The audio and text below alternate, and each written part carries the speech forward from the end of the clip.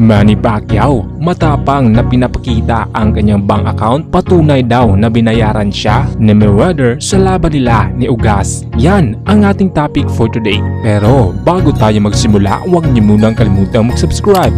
Click the notification bell para updated naman kayo sa mga showbiz o issue na galing sa akin. Kaya ngayon, simulan na natin. Ang video na ito ay walang intensyon para manakit ng tao at ang video na ito ay sariling opinion lamang na galing sa amin. Kung may mga hindi totoo o hindi maganda kaming sinasabi ay pagpasensyahan nyo na dahil sa survey lang namin ito nakukuha.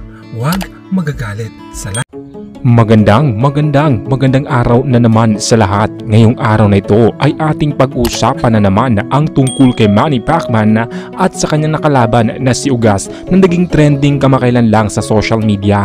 Patungkol ito sa pagbaya daw ni Mayweather sa laban nila ni Ugas nung nakaraang mga araw na naging viral talaga sa social media. Ang ating mga nakuhang impormasyon tungkol dito ay galing lang sa mga tao o ating mga pananaliksik tungkol dito sa mga issue na binabato mismo kay Manny Pacman dahil sa kanyang pagkatalo kay Ugas.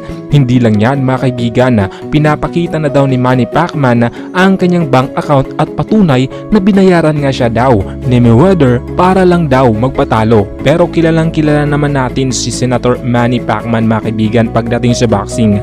Kapag sinasabi nating bansa na ang kanyang dinadala ay hindi kailanman nagpapabayad ang ating pambansang kamao dahil gusto niyang mapaipanalo at mapakita sa buong mundo kung gaano kagaling ang ating bansa pagdating sa boxing. Kaya't hindi natin pwedeng masasabi na nagkaroon ng dayaan laban kay Ugas si Manny Pacman dahil kahit kailanman ay hindi tumatanggap ng kahit anong pera para lang magpatalo si Manny Pacman. Nag-training host si Manny Pacman para mapakita sa buong mundo ang gandang laban nila ni Ugas. Kaya't hindi natin pwedeng masasabi na merong sinasabing dayaan na nangyari laban kay Ugas. Kung ano man ang kumakalat sa social media ngayon na mayroong dayaan o bayaran na nangyari sa pagitan ni Manny Pacman at Ugas ay sobrang napaka-fake news so mga kaibigan. Huwag nating bastang paniwalaan na hanggat wala tayong nakukuhang impormasyon na nagpapatunay mula sa mga legit na mga channel o mga news tsaka na lang tayo maniniwala hanggat galing na mismo sa bunganga o galing na mismo sa mga tao